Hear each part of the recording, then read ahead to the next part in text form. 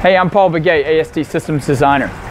So we're gonna be looking at the skid mounted bubble bead filtration system. This is uh, 4,000, 6,000. So that means that it either has two or three cubic feet of standard media uh, in it. Um, and the configuration here is called the pump assisted backwash, PAB. All right, so I'm gonna go over just a few things on the skid system and then we're gonna do a demo of how the pump assisted backwash actually operates, all right? So we've got our bead filter, we've got our air inlet assembly, all right?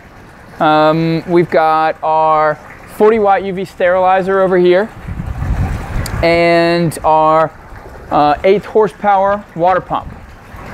All right, now this plumbing here with these three-way valves are specific to our pump assisted backwash. All right, so before we talk about that, water is coming in from this tub here. It is coming into the pump. It is coming out of the pump, going this way, back down and into the bottom of the bead filter, flowing up through the washing throat here, coming up through the beads, leaving, coming down to the UV sterilizer, coming back up and out of the top of the UV sterilizer, and there, there's our return flow there. All right, so when I want to backwash, first of all, I'll see a couple of indicators. Maybe the PSI has gone from normal operating pressure up two or three pounds. So I'll say maybe my beads are clogged a little bit. So let me do a backwash, all right? Now, it's important to note that this valve here on your air inlet is gonna be open all the time, all right? Because this is a one-way valve that closes, all right?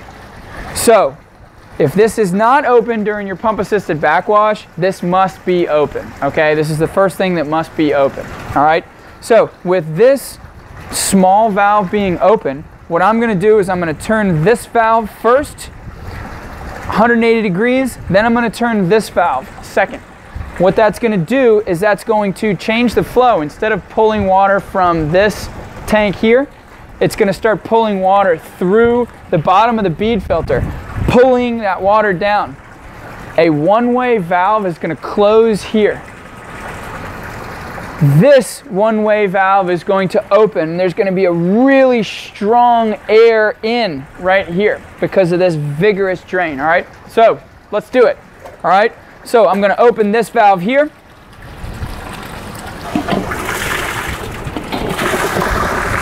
Now, if we look over here, all of our flow is now coming from the bead filter and then draining, pulling much more vigorous backwash. All right, much quicker, much more vigorous. And all of the water that was inside of the bead filter, all that sludge that you've generated, is now going inside of this right here, okay? So that could go down the drain, wherever you need it to go, okay? So once I'm finished, and again, I've got a real strong vacuum right here, okay? This is sucking air in really, really strong. My finger's getting stuck on there, okay? So now that finished up, so I'm going to turn my valves back to the starting position, leaving this one open.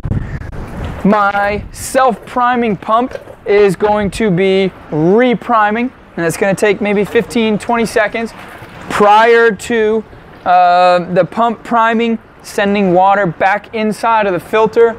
And then again, we're filling back up, clean water coming out, going back through our UV and returning to our tank, okay? So let's hang out for a second and watch that happen, all right?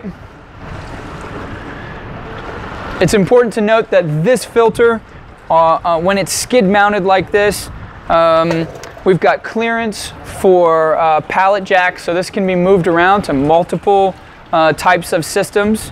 Um, for recirculating aquaculture systems, seafood holding systems, um, aquaponics systems, there are a lot of options for this, uh, this system, okay? This comes pre-plumbed.